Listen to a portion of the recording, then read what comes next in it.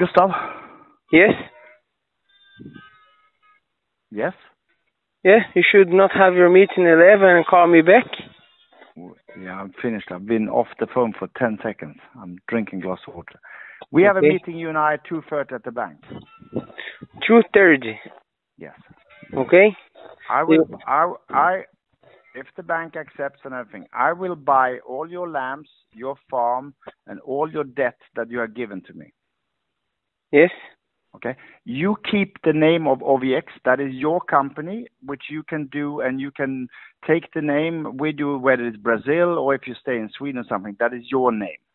You keep your company Tangará Farm AB. Hmm? I'm not buying that one. I'm buying the assets and the debt out of it. Hmm? Okay. And I buy all the animals according to the list yesterday. Yes? Okay. I will come tomorrow with Henrik Andersson, and we will do um, a review either tomorrow or on Saturday on all the animals. Yes? Okay. We will sign papers, and if you want to fly tomorrow, you can fly tomorrow. I, I cannot. You, you think it's going to be changed tomorrow, the bank will fix?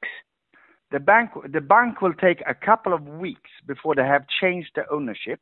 We will start the process today, and we will sign the paper saying that Gustaf Ramel will buy the farm, the house, and things like that. That's going to take you uh, three or four weeks before it's registered in the um, fastighetsregister and everything like that. Yes? And who have you found to stay here with them then? Um, there's a guy working for Henrik who's going to work on the farm starting Saturday. Okay. And then I would like Emma to stay and write and publish the last issue in August of the newspaper. But we can discuss that later. It's Yes. not important. It's Emma- not important, but I, I want to close the newspaper, or I, if we continue to manage the newspaper, we do that. You need We to close at least until August, so there is Yes. nothing to be problems. No. And if then Emma wants to stay on the farm, I will pay her salary. But then if she wants to stay on the farm, she will rent the house from me. Otherwise, she stays with her mother, and I can rent the house out to someone else. Yeah, she's not to stay on the farm. No. And I, uh, you know, that's your house and her house together. I don't think she wants to stay there now. No.